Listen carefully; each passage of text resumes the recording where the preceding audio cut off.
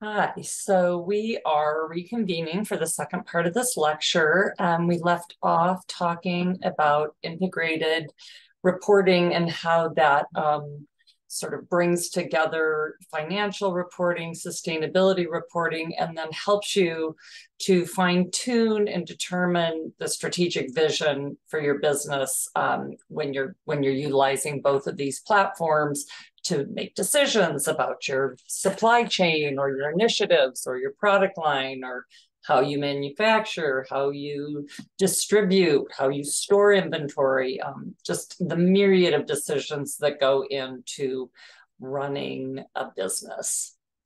So this is um, how we're sort of segueing into what what is a sustainability report what's a good sustainability report what kinds of things um, go in to an to an organization's planning and execution of sustainability reporting. And let me just preface all this by saying it is an expensive process. It is a um, extremely complex and multifaceted process. It's going to involve pretty much everybody in your organization. Um, some companies have been doing this for you know decades, like Apple, like Nike, like Microsoft. Um, and some folks are really new, you know, new to the show and they're being pressured to do it. Um, some organizations have sustainability reports that look more like marketing pieces than they do a hard look at metrics and assessments and baselines and targets. So um, this is from the um, Businesses for Social Responsibility report that I was talking about earlier. That's 60 pages that I just am asking you to skim and get a flavor of rather than eat the whole meal. Um, but this is this is really important. This is how do you build a good report? Um, so first, I mean, you can't report on everything. So how are you going to establish priorities? How are you going to develop a strategy? Um, they talk about conducting, and I'm going to talk about this in a little bit more detail, of looking at materiality. Again, you really want to report things that are going to be impactful in your organization. So, for example, um, access to fresh water is a really big deal if you're Heineken and your product is 97% fresh water, and maybe not as imperative to somebody like uh, FedEx. Uh, that's you know obviously way more um, concerned about um, decarbonizing their fleet for example, or um, gender equity and management, things like that. So materiality, you've got to conduct some sort of review around that. Um, set from that, you're going and and you're going to do that while you engage with um, lots of different kinds of stakeholders. And then you're looking at like, what are our goals? What are our peers doing? That's called a benchmark. Like, do we need to reinvent the wheel or are there already ways of assessing um, how to measure our waste reduction efforts.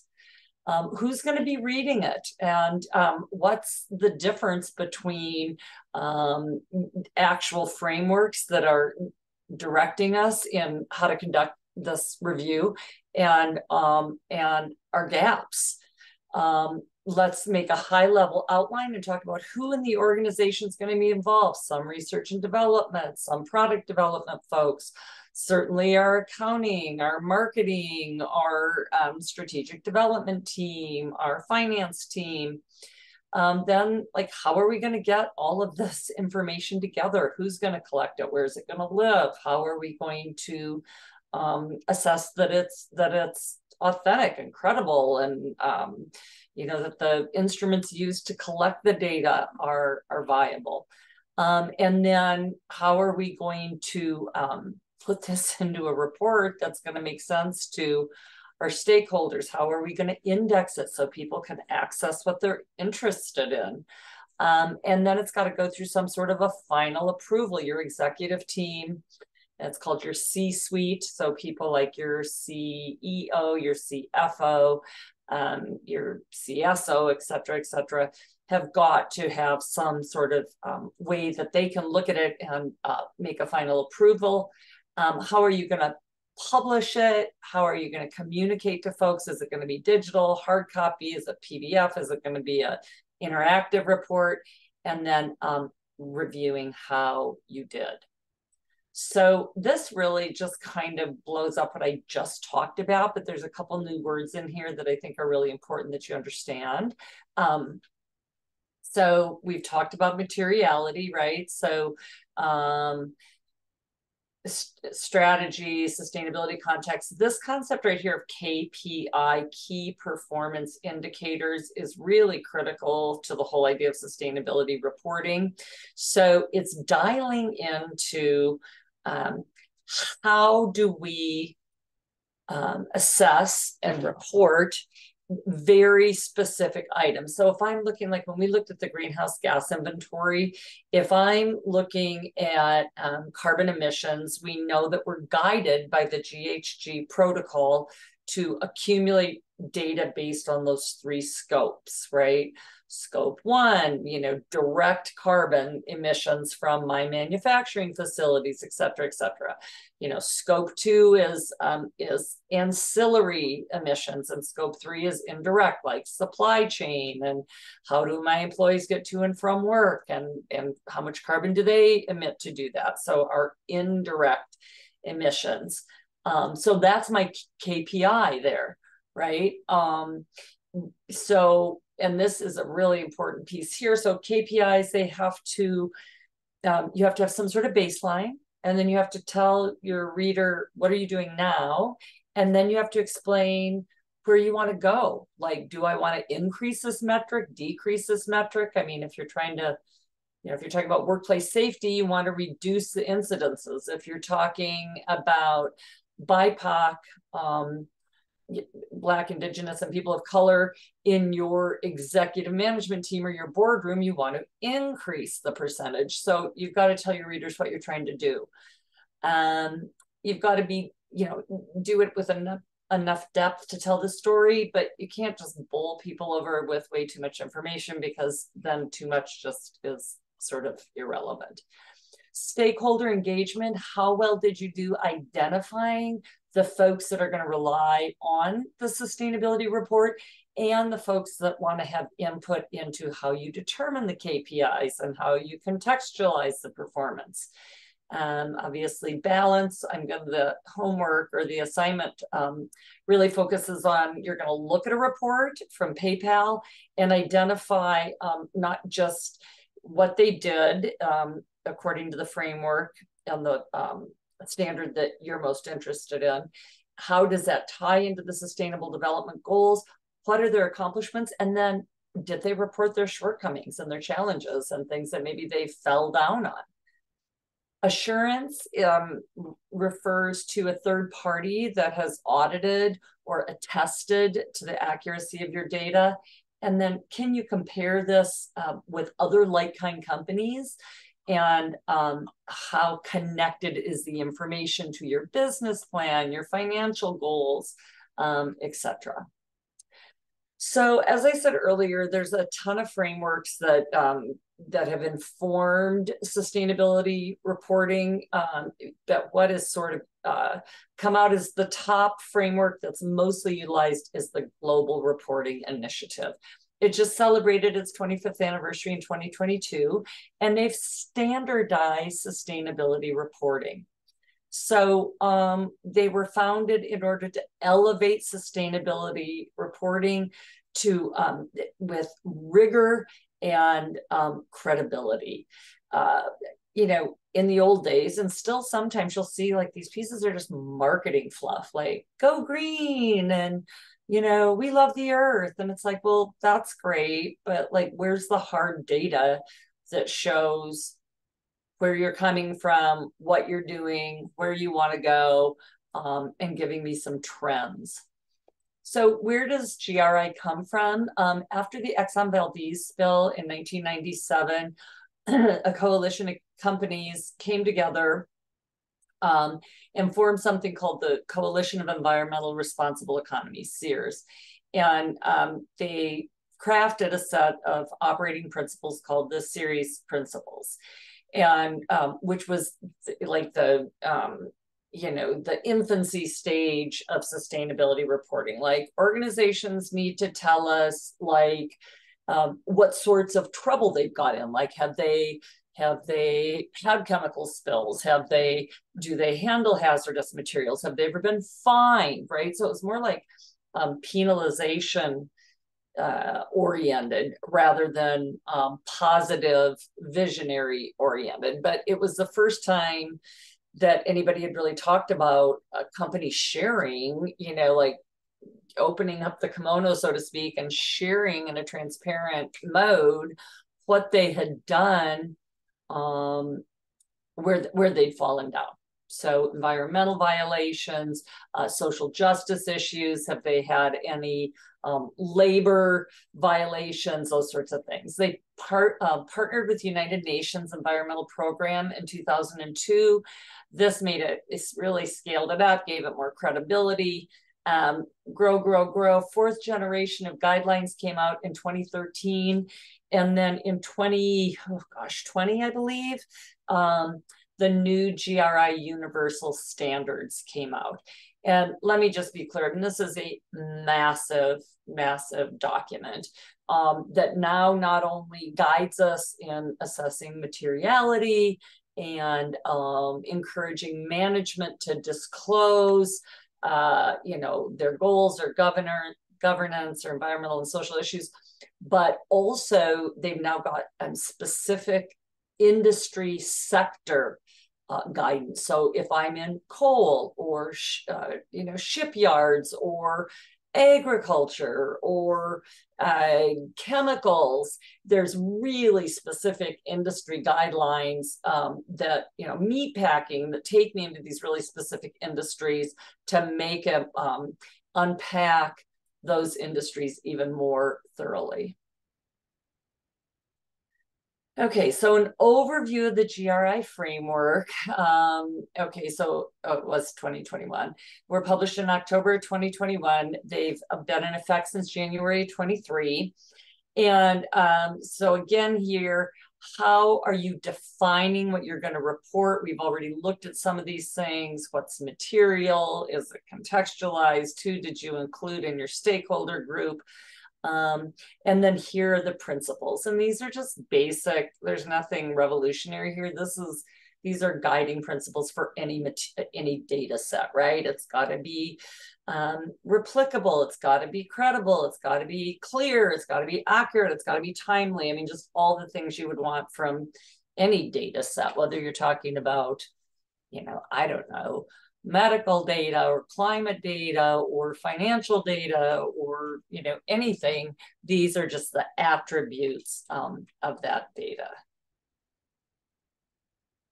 and then it's like oh my gosh where do i start so um, i'm going to go ahead and pop over i'm going to go to this next one sorry no okay we'll we'll go back to this. So we're going to go take a look at the GRI um, standards themselves, the universal standards themselves. Um, let me get through a little bit more content and then we'll go do that.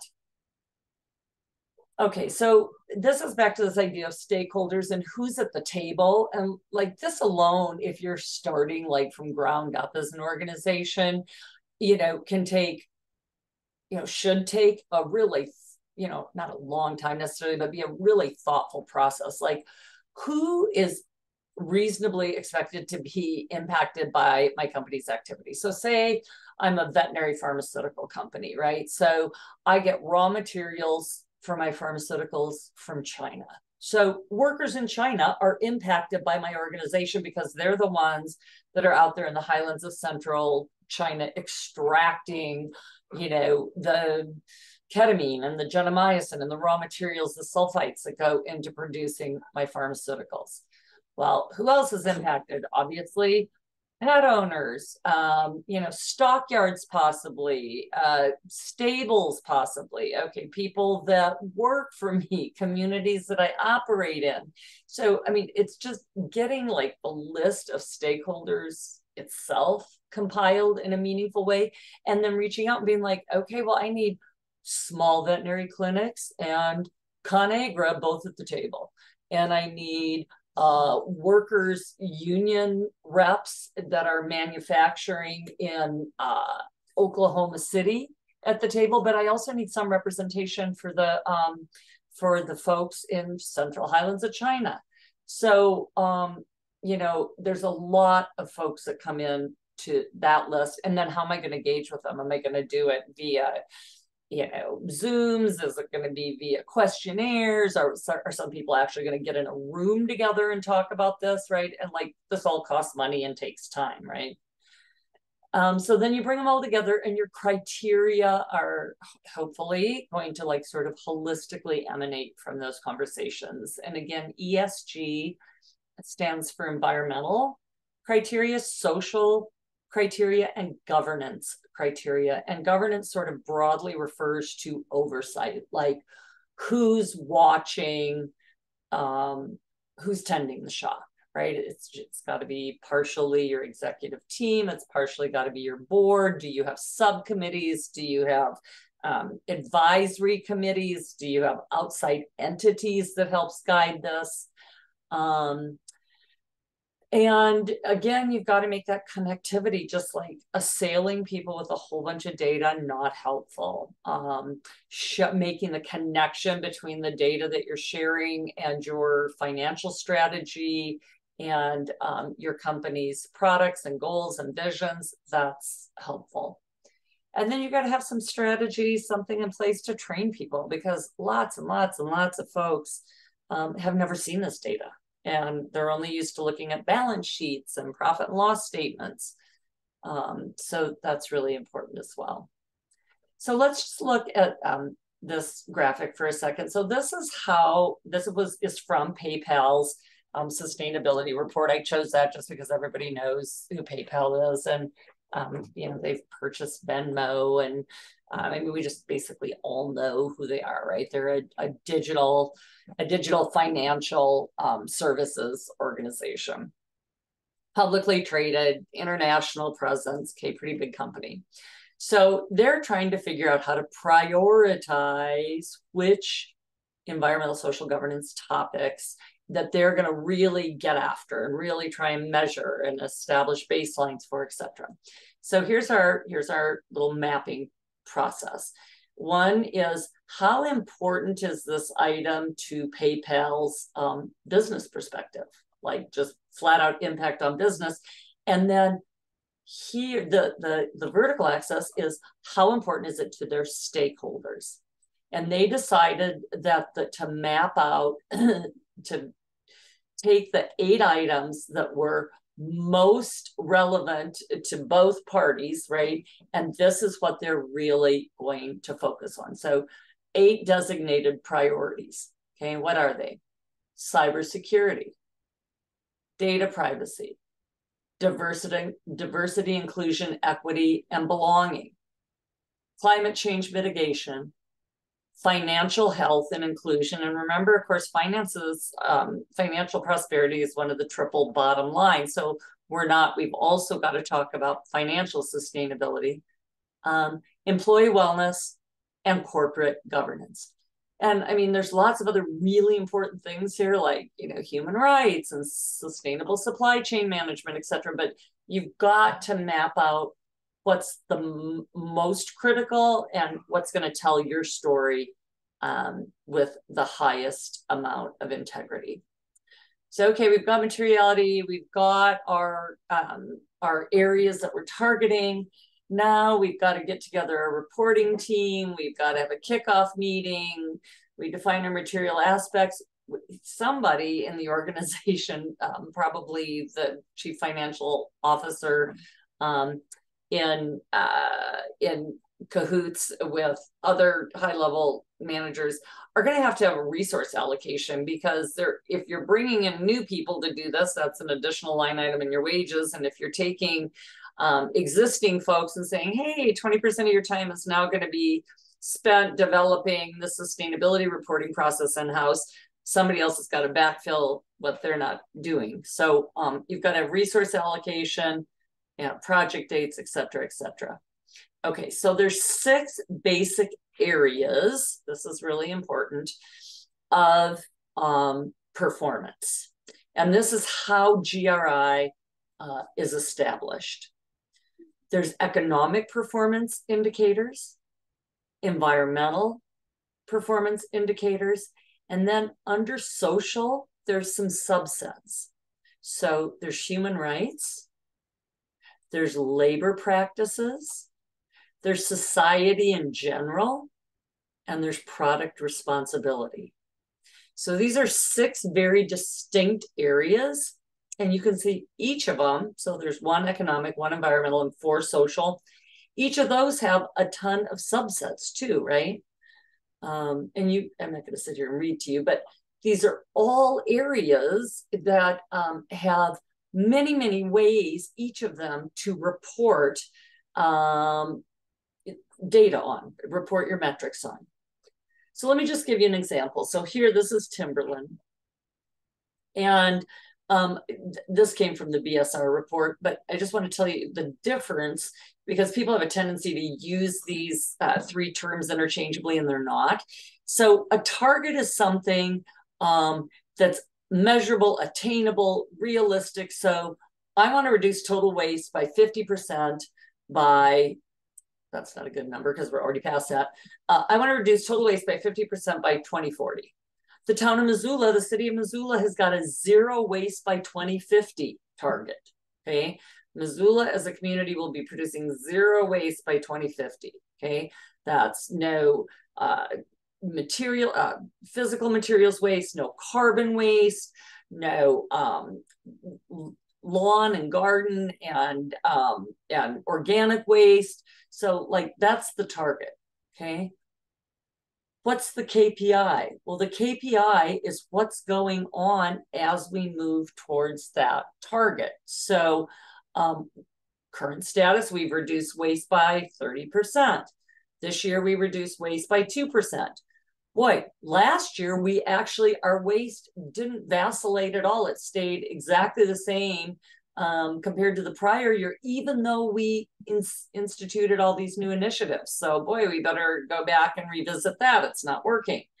Um, and then the metric is the actual standard of measurement. So, if I'm measuring here um, tangible physical waste, uh, there was 46,000 metric tons of waste um, and there's 7.55 metric tons uh, per unit. I'm not quite sure what that per unit is. Um, so for example, here, like this is from the Timberland report. Um, Timberland's 2022 sustainability report. So their target, I'm not going to get this exactly right, but they're looking at, so um, tanning leather is a very, very environmentally uh, rough process. It uses lots of um, very, very harsh chemicals to soften the leather and make it malleable and pliable and be able to sew with it, et cetera, et cetera. So um, from their report, they're mapping out product by product how um, they're measuring this target and becoming environmentally benign with their tanneries, right? So they don't want to release any harsh chemicals into the environment with their tanning process. So they're going product by product and talking about how they're attaining that. So how does a company choose their KPIs? Well, you've got your stakeholders, you've defined your materiality. Um, you now have got to look and say, what do we have the capacity to measure? How are we going to accumulate the data? And is that going to significantly influence um, my stakeholders' decisions? And it really does at the end of the day. Like if you're going to measure water, for example, like say you're um, Patagonia and you utilize, um, obviously, water is utilized to uh, grow cotton, and they utilize only organic cotton um, in their wool blend products, um, outdoor wear. So how am I going to assess that water? How am, am I going to be um, actually having folks down with the organic cotton farmers measuring the amount of water that they're utilizing for their crops? Am I going to compare that to a non-fiber like a polymer? Okay, because polymers have chemicals, but they, they're not water intensive am I going to compare organic cotton to non-organic cotton is one more water intensive than the other. So you need to start thinking about how am I going to tell the story around this very important issue. One of the things you're going to be doing in this um, first assignment when you're looking at PayPal sustainability report is you're going to be telling me how well do you think they use the KPIs to tell the story. Here, this is not like every KPI has to have this, but it's just a suggestion to help you, um, again, contextualize a piece of data. So if I just tell you, like, um, in our household, we use uh, 2,300 kilowatts of energy a year. Like, is that good or is that not good? I don't know. In my warehouse, I used 46, I emitted uh, 460,000 tons of carbon between all my warehouses worldwide um, as Apple Computer. Is that a good number, a bad number? Okay, how do you extract information about whether this is a good thing or not? Well, show me trends. Where have I come from, right? If this year I emitted 460,000 um, metric tons. And last year I emitted 500,000 and the square footage of my warehouses are the same, then that's making progress. I what's going on? Oh well, I've converted partially to solar. I've got some wind turbines, or I've installed all new um, sustainable lighting. You know, so you've got to have some sort of trends or trajectory so you can see where you're coming from and where you're going.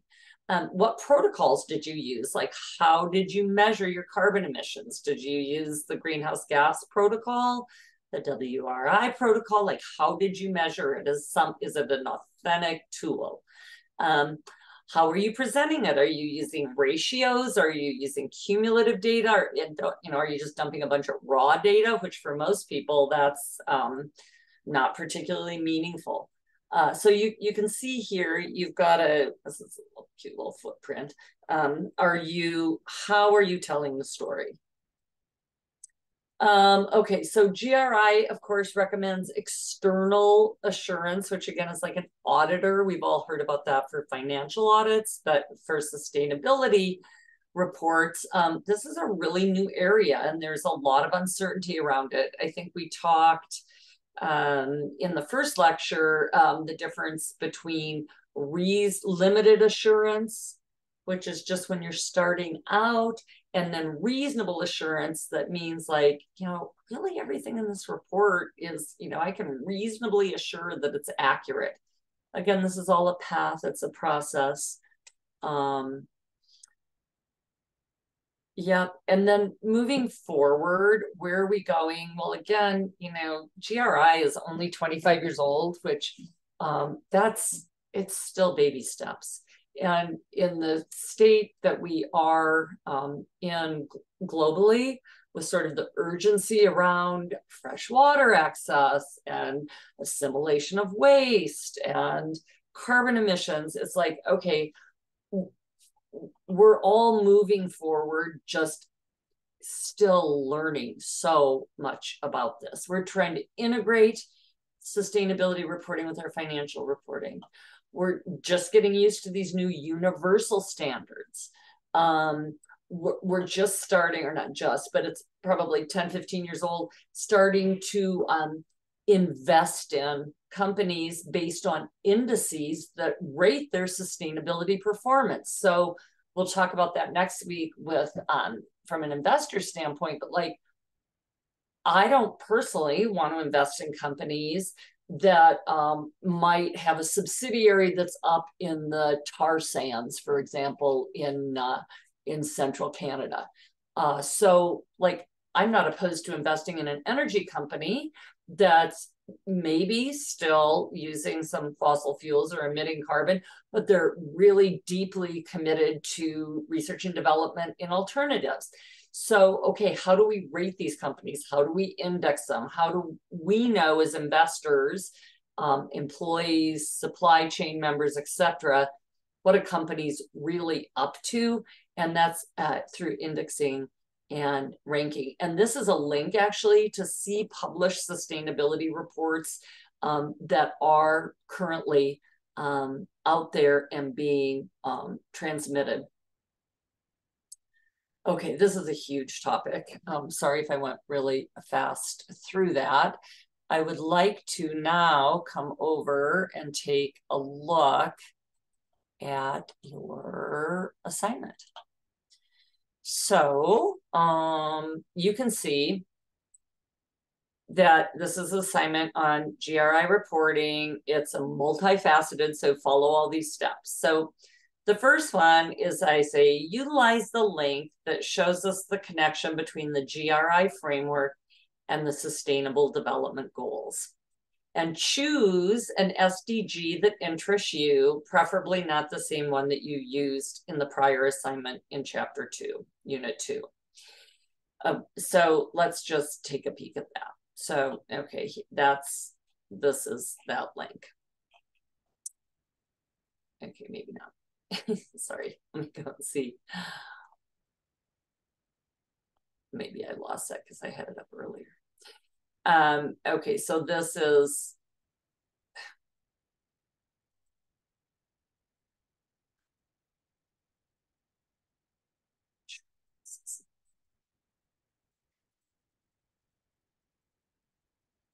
Okay, let's try one more time.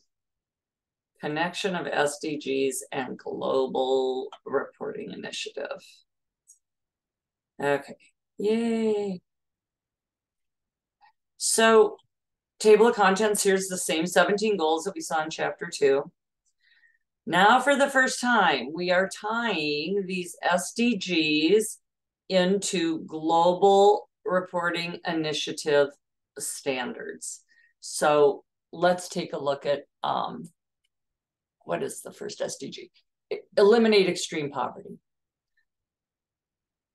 Okay, how am I going to measure that in a sustainability report if I'm complying with the GRI index? Okay.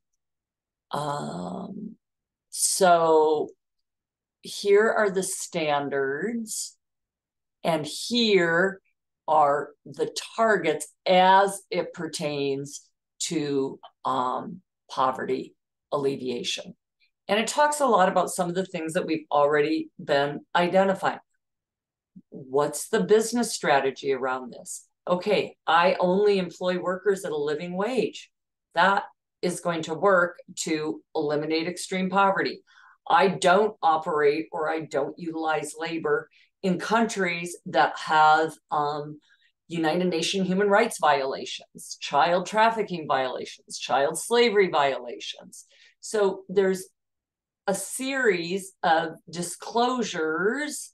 And you can see here's the GRI standard that applies to the first SDG. The second SDG, um, this is around, sorry, I should probably know these off the top of my head, um, hunger. The third one is around good health. The fourth one around education. Just a second, I've got a cat wanting to come up with that. Come on. Come on, baby.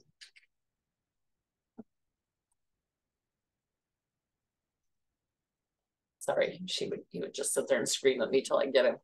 Um, okay, so you can see all of the SDGs have got GRIs that go um, that tie them in. Now, let me just say this. That is not to say that every report has got every SDG and every GRI incorporated. That's not what I'm saying. I'm saying if there is a connection, you're going to find that here.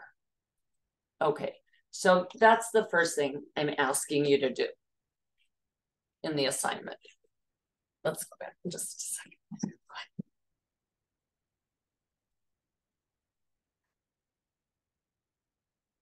Okay, so choose one of the SDGs that interests you. Then you're going to go, this is just a print of number 13. Then you're going to go to the GRI Universal Standards, and that's down here under Resources. Ooh, up here under Resources, sorry. Right, Universal Standards. This is a zipped file. So when you open this, you're going to get, uh, so I just downloaded it and then I go here and it's zipped. So you're going to get a bunch. I don't know if you've ever really worked with these, but you're going to get a bunch of extractions, right? So here's, and you'll see like there was GRI 201, economic. Um, this is market based. This is indirect. This is procurement. This is anti corruption. You can see the numbers. And if you remember on that first one, the 201s, so the the 200s are essentially um, economic GRI standards. This is anti-corruption, tax. Um, then we move on to resources or the 300s. So each of these standards, you would open separately the one that you're reporting on. Okay, so let's go back here. I just wanted to show you that that's kind of weird. And then I'm going to um, identify what I should disclose on my sustainability report. Okay, so you're tying in the SDGs and the GRI framework. Then the assignment itself is to go see if you can find your SDG goal and GRI standard in the PayPal report. So using this link, you're going to go to the PayPal sustainability report um, and lots of things aren't going to be in there. So you have to choose an SDG um, that's you're going to be able to find in the PayPal report. And so in this part of the assignment, I would go to the table of contents at the beginning to locate the matrix or the table um, in the report that talks about the GRI framework. So if you go to the report itself, you're going to see at the very beginning, there's a table of contents. In the appendix, you're going to find um, where you're going to be able to um, tie in on page 38 the SDGs and uh, the GRI report, the standards. And you'll go there and then you'll find where in the report they talked about um, your SDG that interests you. And then the assignment is to write about it. So you're going to introduce your SDG, right? You did that in chapter two. Ending extreme hunger um, and extreme poverty. This one, I used SDG 13, which is climate risk. Okay, so you're going to accurately and thoroughly introduce your SDG, DG, and which category it's in. Then I want you, you're going to go find it in the PayPal report based upon that table of contents. And you're going to tell me how, how well you think they did in accomplishing sharing that data. Like, did they give you trends? Did they give you tables? Did they give you targets? What are the KPIs? Does it feel like they that there's data integrity? Did what did it seem to be a marketing ploy or was it solid and measurable? So tell me how well you think they did um, in accumulating the data and transmitting it. And then um, tell me what you think more you would like to have seen. Okay, so this is you're critically analyzing the report. So, really, probably where you should start um, is to take a peek at the report itself and then maybe back up and go to how the framework ties into the development goals and then go find your GRI standard. So that might be a little bit of an easier segue to really go look at the report and find out like what are they even reporting on first and then go choose um, sorry that was a little backward introduction then go choose the sdg um, and gri and um, have fun with this. This is a really a pretty well put together report, in my opinion. So um, start to dig in and understand a little bit more um, about the process of reporting um, sustainability endeavors. So thank you very much, and I look forward to seeing your work. Okay, bye.